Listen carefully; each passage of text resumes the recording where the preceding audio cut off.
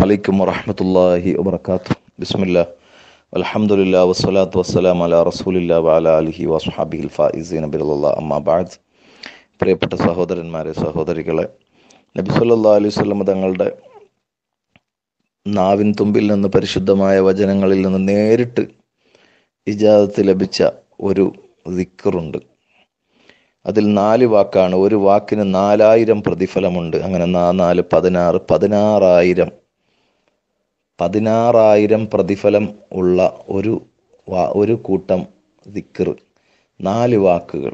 ആ ദിക്കറിനെ സുബീന്റെ ശേഷം ഒരാൾ പറഞ്ഞാൽ അവന് കിട്ടുന്ന പ്രതിഫലം പതിനാലായിരം പ്രതിഫലമാണ്. മണിക്കൂറുകളോളം ദിക്കർ ചൊല്ലിയ പ്രതിഫലമാണ്. ഇത് ആർക്കാണ് കൊടുത്തതെന്നറിയാമോ? നബി സല്ലല്ലാഹു അലൈഹി വസല്ലം തങ്ങൾ ഈ ദിക്കർ കൊടുത്തത് സ്വഹീഹ് മുസ്ലിമിലും മറ്റനേകം ഗ്രന്ഥങ്ങളിലും ഈ ഹദീസ് പറയുന്നുണ്ട്. ഇബിൻ അബ്ബാസ് റലി അള്ളാഹു എന്ന് പറയാണ് ജുവൈരിയ റലി അള്ളാഹു അൻഹ പറഞ്ഞു എന്ന്. ജുവൈരിയ ആരാ? നബി സല്ലാ അലൈഹി സ്വലം തങ്ങളുടെ ഭാര്യമാരിൽപ്പെട്ട ഒരു മഹതിയാണ്. ഉമ്മുൽ മുഅ്മിനീൻ മോമിനീങ്ങളുടെ ഉമ്മമാരായ റസൂള്ളാന്റെ ഭാര്യമാരിൽപ്പെട്ട ജുവൈരിയ റലി അള്ളാഹു അൻഹ. അവർ പറയുകയാണ് ജുവൈരിയ ബിൻ ഹാരിസ് റലി അള്ളാഹു അൻഹുമ അന്നൻ നബിയ സല്ലാ അലൈഹി ഹറജമിൻ എന്തിഹ ബുക്രത്തൻ സുബി നിസ്കാരം കഴിഞ്ഞ് അത് രാവിലെ നബി സല്ലാ തങ്ങൾ അവരുടെ അടുക്കന്ന് ഇങ്ങനെ വരുമ്പോൾ അവർ മുസല്ലയിലിരുന്ന് ഇങ്ങനെ തസ്ബീഹ് ചൊല്ലുകയാണ്. സുബി നിസ്കാരം കഴിഞ്ഞ് ഉമ്മ ഇങ്ങനെ തസ്ബീഹ് ചൊല്ലുകയാണ്. സുല്ലാന്റെ ഭാര്യയായ ജുവൈരി റലിയല്ലാൻ ഓരോ ദിവസം ഓരോ ഭാര്യമാരുടെ അടുക്കൽ താമസിച്ചുകൊണ്ട് നീതി കാണിക്കുന്ന റസൂർല്ലാഹി സുല്ലാൽ തങ്ങൾ അന്ന് ജുവൈരി റലി അള്ളാഹുവിനയുടെ അടുക്കലായിരുന്നു. അവിടെ നിന്ന് തീ വരുമ്പോൾ ദിക്കർ ഇങ്ങനെ തുടങ്ങിയിട്ടുണ്ട്. തിരിച്ച് ഒരു ലുഹാന്റെ സമയമാകുമ്പോൾ ഏകദേശം ഒരു ഒന്ന് ഒന്ന് ഒരു മണിക്കൂർ ഒന്നേ കാൽ മണിക്കൂർ ഒന്നര മണിക്കൂറിന്റെ ഇടയിലുള്ള സമയമാണ് ലുഹ വരെയുള്ള സമയം സുബീന്റെ ശേഷം. ആ സമയം വരെ അതേ ഇരിപ്പിലിരുന്നു കൊണ്ട് അവർ തസ്ബീഹ് ചെല്ലുകയാണ്. നബി സല്ലല്ലാഹു അലൈഹി വസല്ലം തിരിച്ചു വരുമ്പോൾ അതേ ഇരുത്തത്തിൽ ലുഹാ സമയത്ത് അവരിങ്ങനെ ഇരുന്നിട്ട് തസ്ബീഹ് ചൊല്ലിക്കൊണ്ടിരിക്കുകയാണ്. റസൂള്ള ചോദിച്ചു മാസിൽത്തി അല ഹാലില്ലത്തി ഫാറക് ഫാറക് തുക്കി അലിഹ. ഞാൻ പോകുമ്പോഴുണ്ടായിരുന്ന അതേ സ്ഥലത്ത് തന്നെ ഇരിപ്പാണല്ലോ എന്ന് ചോദിച്ചു. അവർ പറഞ്ഞു നാം അതേ പുന്നാര നബിയെ സല്ലാഹു അലി അപ്പം നബി സല്ലാ അലിസ് തങ്ങൾ പറഞ്ഞു ലഖദ് കുൽത്തു ബാദക്കി അർബ കലിമാത്തിൻ. ഞാൻ നീ ഇവിടെ ഇരുന്ന് നിന്റെ നിന്ന് ഞാൻ പോയതിനു ശേഷം നാല് വാചകങ്ങൾ ഞാൻ പറഞ്ഞിട്ടുള്ളൂ. സലാസമറാത്തിൻ മൂന്ന് പ്രാവശ്യം ആവർത്തിച്ചു നാല് വാക്കുകൾ. ആ നാല് വാക്കുകളെ മൂന്ന് വട്ടം ചൊല്ലണം.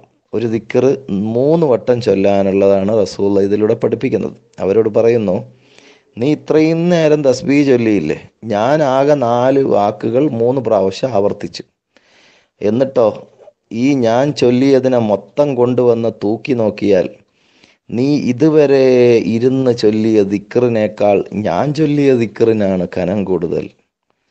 ലവ് ഉസിനത്ത് ബിമാ കുൽത്തി ലൗമ ല വസനത്ത് ഹുന്ന നീ ഇതുവരെ ഇരുന്ന് ചൊല്ലി ആ ദിക്കറുകളെല്ലാം എടുത്ത് ഒരു തുലാസിൻ തട്ടിൽ വെച്ച് ഞാൻ ചൊല്ലിയ ഈ മൂന്ന് നാല് കലിമത്തുകളെ മൂന്ന് വട്ടം വീതം ചൊല്ലിയ ഈ ദിക്കറിനെ ഇപ്പുറത്തും കൂടി വെച്ചാൽ എന്റേതാ തൂക്കം വർദ്ധിക്കുക മോളെ എന്ന് ഭാര്യയോട് നബിസുല്ലാ തങ്ങൾ പറയാം. അതേത് വാക്കുകളാ സുബഹാനല്ലാഹി ഒബിഹംദിഹി അത് ഖൽഖിഹി നഫ്സിഹി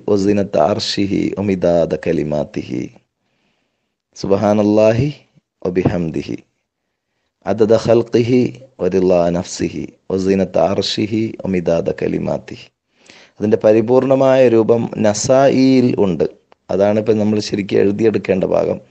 അതിലിങ്ങനെ തന്നെ വേറെ വേറെയായി പറയുന്നുണ്ട് ഏത് നാല് വാക്കുകൾ. സുബഹാനല്ലാഹി വൽഹംദുലില്ലാഹി വലാ ഇലാഹ ഇല്ലാഹു അല്ലാഹു അക്ബർ. അതദ ഖൽഖിഹി വരിളാ നഫ്സിഹി ഉസിന അർഷിഹി ഒമിതാദ കലിമാത്തിഹി. ഇത് മൂന്ന് വട്ടം വീതം ചൊല്ലണമെന്നാണ് പറയുന്നത്. ഇതിന് നാല് ഒരു വാക്കിന് നാലായിരം കൂലിയാണ്. അതെങ്ങനെ മനസ്സിലായി? മഹതിയായ സൊഫിയ അറലിയല്ലാവിനെ പറയുന്നുണ്ട് വേറൊരു ഹദീസിൽ തുർമുദീമാൻ നിവേദനം ചെയ്ത ഹദീസിൽ. എന്റെ അടുക്ക് റസൂള്ള വരുമ്പോൾ ഞാൻ നാലായിരം ഈത്തപ്പഴത്തിന്റെ കുരുക്കൾ ഇങ്ങനെ ചുരണ്ടി വെച്ചത് നല്ല നീറ്റാക്കിയിട്ട് തസ്ബീ ചെല്ലാൻ വേണ്ടി കുരുകളാക്കി വെച്ചിരുന്നു നാലായിരം. ഇത് കൊണ്ട് ഞാനിങ്ങനെ തസ്ബീ ചൊല്ലുകയായിരുന്നു. അപ്പോൾ റസൂള്ള പറഞ്ഞു അല വല്ലിമുക്കി ബി അക്സറ മിമ്മ സബ്ബഹത്തബി നീ ചെല്ലുന്ന തസ്ബീനേക്കാൾ കൂലിയുള്ളത് ഞാൻ നിനക്ക് ഞാൻ പഠിപ്പിച്ചു തന്നാലോ? അല്ലിംനി യാ റസൂലുള്ള സോ എനിക്ക് പഠിപ്പിക്കണം എന്ന് പറഞ്ഞു. കൂലി എന്നാ നീ പറഞ്ഞു? സുബഹാനല്ലാഹി അദദ ഖൽഖിഹി. ഇത് മാത്രം പറഞ്ഞാൽ മതി. സുബഹാൻ അള്ളാഹി അദദ ഖൽഖിഹി. അള്ളാഹുവിന്റെ സൃഷ്ടികൾ എത്ര ലോകത്തുണ്ടോ അത്രയും തസ്ബീഹ് നിനക്ക് ഞാൻ ചൊല്ലുന്നു. ദുനിയാവിലുള്ള എല്ലാ സൃഷ്ടികളുടെയും എണ്ണത്തിന്റെ അത്ര നിനക്ക് ഞാൻ സുബഹാനല്ല പറയുന്നു എന്നാണ് ആ വാക്കിന്റെ അർത്ഥം. അതിലൂടെ ആ നാലായിരം പ്രതിഫലം ആ നീ ചൊല്ലിയതിനേക്കാൾ നാലായിരത്തിനേക്കാൾ കൂടുതൽ കിട്ടുന്നു എന്ന്. ഇത് ഒരു വാക്കിനാണ്. സുബാനല്ലാഹി അതത് ഹൽഖി എന്ന വാക്കിനാണ് നാലായിരം പറഞ്ഞത്.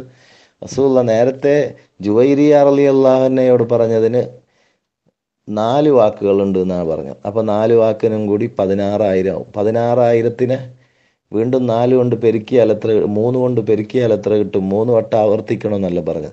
അതനുസരിച്ചുള്ള കൂലി അതിന് കിട്ടും. അപ്പോൾ എങ്ങനെയാണത് ചൊല്ലേണ്ടത്?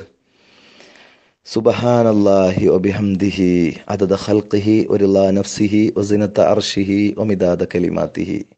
അതിന് ഒന്നുകൂടി വിശാലമായിട്ട് മറ്റൊരു ഹദീസിലുണ്ടെന്ന് പറഞ്ഞത് സുബഹാനല്ലാഹി വൽഹംദുലില്ലാഹി വലാ ഇലാഹ ഇല്ലല്ലാഹു അല്ലാഹു അക്ബർ എന്ന് പൂർണമായും ഉണ്ട് എന്നല്ലേ പറഞ്ഞ്?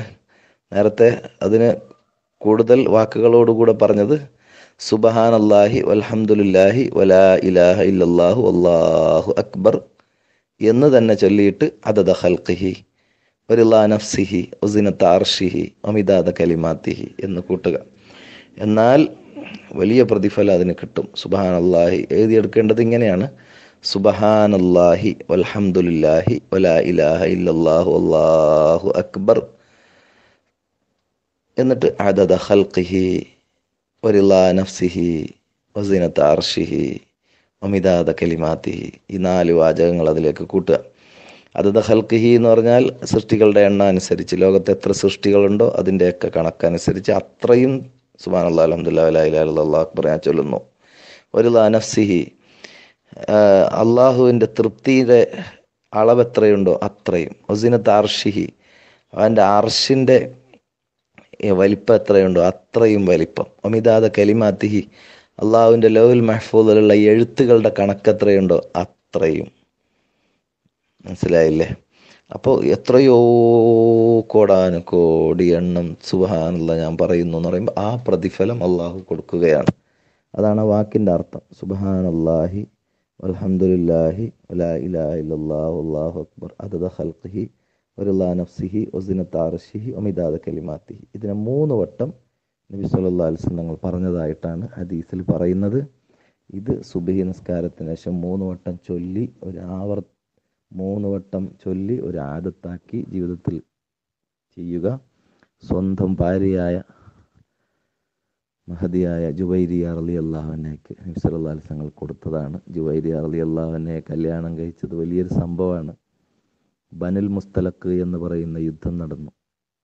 ആ യുദ്ധത്തിൽ അവരുടെ ഗോത്രത്തലവന്റെ മകളായിരുന്നു ജുവൈരിയ അലി അള്ളാഹുവിന് അവരെ യുദ്ധത്തിൽ ശത്രുക്കളെ കുറേ ആളുകളെ പിടിച്ചു കെട്ടി കൊണ്ടുവരുമ്പോൾ അതിൽ യുദ്ധത്തിൽ പങ്കെടുത്ത പെണ്ണുങ്ങളെയും പിടിച്ചു കൊണ്ടുവന്നു അടിമകളാക്കി വെക്കാൻ വേണ്ടി.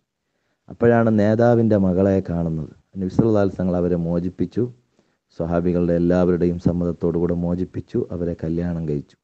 ഇത് കണ്ട് സ്വന്തം ഞങ്ങളുടെ നേതാവ് ഇവരോട് യുദ്ധം ചെയ്യാൻ പോയിട്ട് വരെ മുസ്ലിമീങ്ങൾ അവരുടെ മകളെ ബഹുമാനിച്ചുകൊണ്ട് സ്വന്തം ഭാര്യയായി നബിസുല്ലാത്സങ്ങൾ സ്വീകരിച്ചല്ലോ എന്ന നിലയ്ക്ക് ആ സംഭവത്തിൽ ആ കുടുംബം മുഴുവനും ആ ഗോത്രം മുഴുവനും ഇസ്ലാമിലേക്ക് വന്നു എന്നാണ് പറയുന്നത്. അപ്പോൾ മഹതിയായ ജുവൈദിയ അലി അള്ളാഹു അൻഹായ്ക്ക് അള്ളാഹിന്റെ റസൂൽ കൊടുത്ത അതിക്കർ സ്ത്രീകൾക്ക് പ്രത്യേകമായി ഒരു പൊരുത്തമായി കരുതാം. നമുക്കും പുരുഷന്മാർക്കും അത് ചൊല്ലാം.